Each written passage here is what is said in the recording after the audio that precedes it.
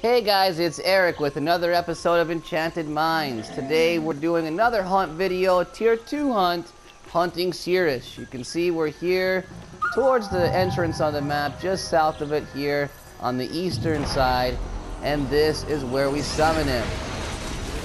See, he is a dinosaur, and an angry dinosaur. There's some ads here.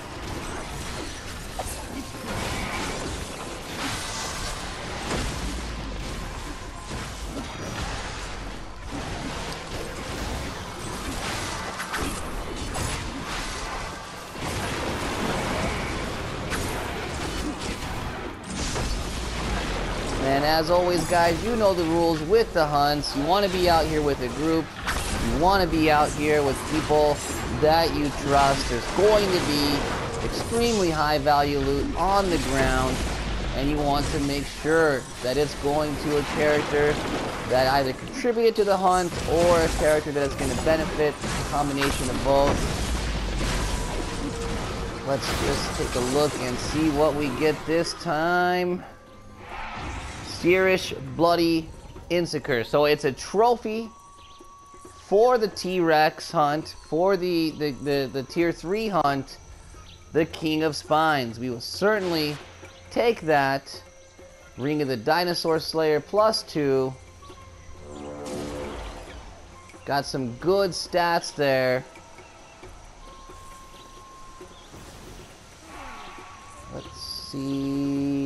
Gonna go ahead and greed on that one. And then a Dawnhide Mask.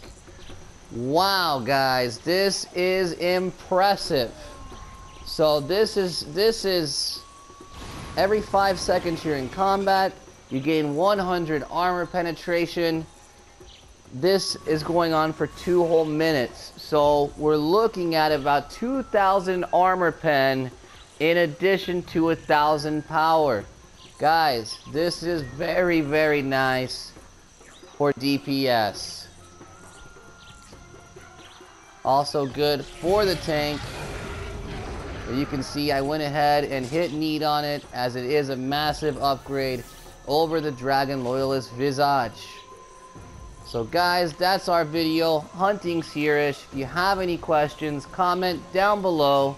Um, also, if you need help on the PS4 platform, I'd be happy to help you in-game.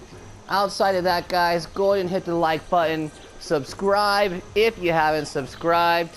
And as always, may the drops be ever in your favor. Eric out.